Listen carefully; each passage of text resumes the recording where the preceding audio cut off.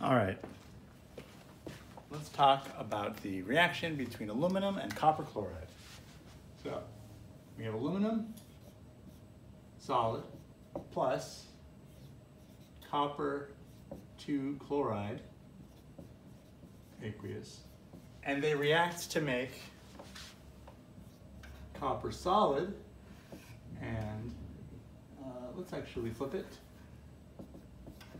copper solid and aluminum chloride aqueous. All right, let's figure out why and let's put some numbers in front of each of uh, each of these reactants and products. Okay, first thing first, aluminum has three valence electrons.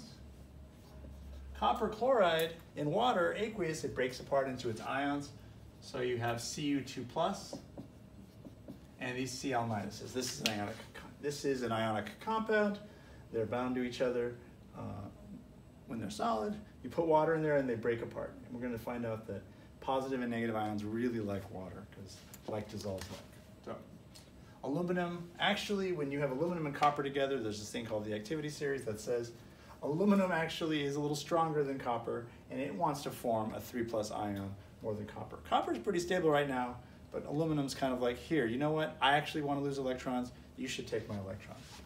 The reason why for that, that's, that's a more honors topic, but we can talk about it if you want. Come to tutorial. So aluminum has three electrons, copper has two plus.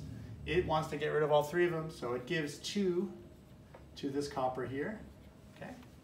Uh, this one still has another electron to give away, so another copper chloride is called upon. And really, when we have it in solution, we have zillions of them, so they're there. So they're, they're if there's an electron to give, there, there's a copper chloride right next door to, to ready to get it. So this one here gives it here, gives one electron there. So maybe I'm going to draw, uh, well, I'll do this one. But this one can still take another electron, so another aluminum comes along here and gives it. And look, it has, look, it has two more electrons to give. If only a, if there's a copper that wants it, oh, of course, there's one nearby, my cousin. So UCl, two, and you see how they all come together, right? The Cu and the two Cls. They're like a matched set. Okay?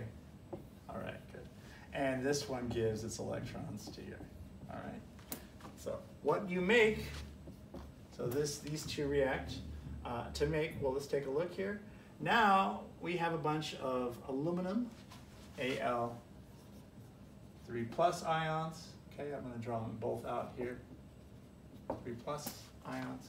And we have, uh, when you give these electrons to copper, you end up with, this is solid copper, solid copper um, atoms. So there's three of them. So let's take a look. Let's put some numbers in front of all this. So there are two of these aluminums that started out with, okay, react with three of these copper chlorides. Okay, good. To make, well, let's pause for a second on this one. But for sure, we have three of these copper, uh, solid copper atoms. So let's figure out what happened with the chlorides.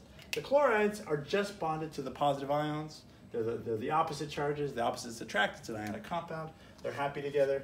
Uh, once copper gets electrons, though, does it want to bond? Uh, does it have a positive charge that is attracted to the chlorides?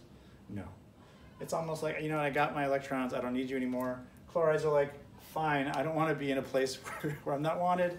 But who wants, who is attracted to this aluminum? I mean, sorry, that's a spoiler alert. Who is attracted to these chlorides?